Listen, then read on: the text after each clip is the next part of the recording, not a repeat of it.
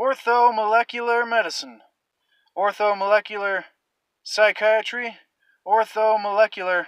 Well, good afternoon, ladies and gentlemen. I am Chase Corrington, and this is the Chase Corrington YouTube channel where we seek to achieve and maintain happiness through enlightenment. And today I wanted to talk a little bit about orthomolecular medicine, orthomolecular psychiatry, and orthomolecular itself to understand what it is and why it's important for us and how it can change lives, and not only change lives, but save lives, ladies and gentlemen. And so, orthomolecular medicine. What is it and why is it important? Well, what does it mean, first of all? And I thought in my head, orthomolecular medicine. Well, orthomolecular by itself has to mean something. Ortho it's got to mean something. So I went to the word orthomolecular. And what does it mean? Well, orthomolecular is an adjective pertaining to a theory that illness can be treated. Ah, treated. I hate that word. That's the sick care system, the modern medicine system will treat your symptoms and give you a pharmaceutical and will send you on your way so you'll be back in two weeks needing more, ladies and gentlemen. but what does it mean? Well, orthomolecular is an adjective pertaining to a theory that illness can be taken care of and health maximized by creating the optimal molecular environment for the cells of the body through the introduction of natural substances. Now that's kind of complex. So let me say it a little bit slower once again. Health maximized by creating the optimal molecular environment for the cells of the body through the introduction of natural substances, ladies and gentlemen. Or as I've heard it put before, using what already exists in the body naturally. So that's orthomolecular just by itself.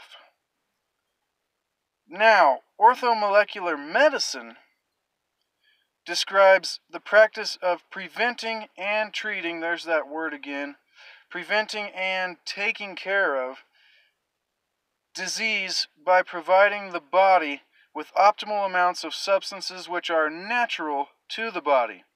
Orthomolecular treatment does not lend itself to rapid drug like control of symptoms, but patients get well to a degree not seen by tranquilizer therapists who believe orthomolecular therapists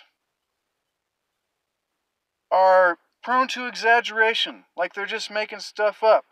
So these these tranquilizer therapists they're not down with what the orthomolecular therapists are throwing out there, ladies and gentlemen. They think they're prone to exaggeration. Those who have seen the results are astonished. That was a quote from Abram Hoffer, MD, PhD, orthomolecular.org. Now, I edited that quote a little bit and added my own words in, so I'm sorry if I destroyed it. But go to orthomolecular.org and figure out some information for yourself, ladies and gentlemen. Is there ever going to be a way for us? Is there ever going to be a way for us to become optimized, or get well, or be happier, or do what we need to make our bodies function properly, or help our bodies to function the way that they need to function naturally? without using foreign contaminants, ladies and gentlemen. Is there ever going to be a way for us to become optimized, happier, healthier, fully functioning people without using these foreign contaminants like pharmaceuticals and radiation treatments and all these other things that we know in the end aren't natural to the body? And so I always think of WALL-E, the foreign contaminant, foreign contaminant. And so, if you like WALL-E, leave a comment. That's a great movie. I think it has a lot of information hidden in there, ladies and gentlemen. But let me get back to what I was saying here. Foreign contaminants that aren't natural to the body to begin with. And can we ever do this as a mass? as a mass, a large group of people, the world, can we come together and create a place where we can get healthy and be healthy without using foreign contaminants? and can we ever do this as a mass? More than just a few. We need the whole world to smarten up, ladies and gentlemen. You know what I mean. And there was a testimony I read while I was doing a little research on this. It told a story of an elderly woman who was diagnosed with 48 hours to live. They told her, You got 48 hours to live. We're sorry. With nothing to lose, the daughter, her daughter, began using orthomolecular principles. Long story short, she not only lived past two days, she not only lived a year, she not only lived three years, but can you guess how much further she lived past two days, ladies and gentlemen? Well, it was 12 years. After being diagnosed with 48 hours to live, through the use of orthomolecular principles, after her daughter studying and understanding how to apply these things, she lived a further 12 years, ladies and gentlemen. At the end, the daughter said, Thank you, Linus Pauling. Who is Linus Pauling and why that was pretty mysterious? I have some idea of who it is by listening to great podcasts and doing a little bit of research and reading myself. But Linus Pauling was the biochemist and author that coined the term orthomolecular. Not to mention his being awarded the Nobel Peace Prize. We'll just not mention that, even though that's amazing, ladies and gentlemen. But he co edited a book written by David Hawkins, the creator of the Scale of Consciousness, and you know that we should all be f- familiar with. You should be familiar with the scale of consciousness. If you're not, then I suggest getting Power versus Force by David Hawkins and reading it, and you'll have a better understanding of consciousness through the practice of kinesiology.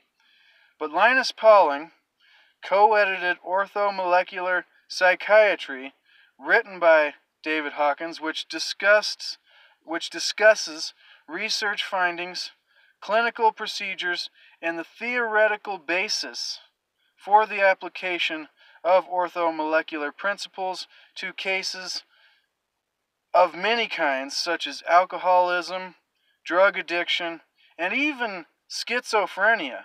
So, ladies and gentlemen, this is impactful in not only the lives of terminally ill people, but the lives of people that are addicted to drinking alcohol. And this can help people of many kinds.